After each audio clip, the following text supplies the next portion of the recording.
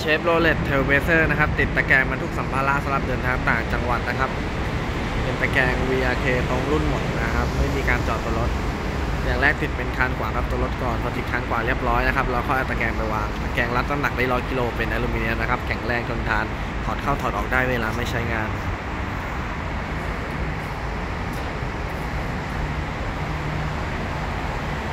โอ้โหเรียบร้อยครับสำหรับตะแกรง VRK นะครับ ติดกับ Chevrolet Trailblazerอร์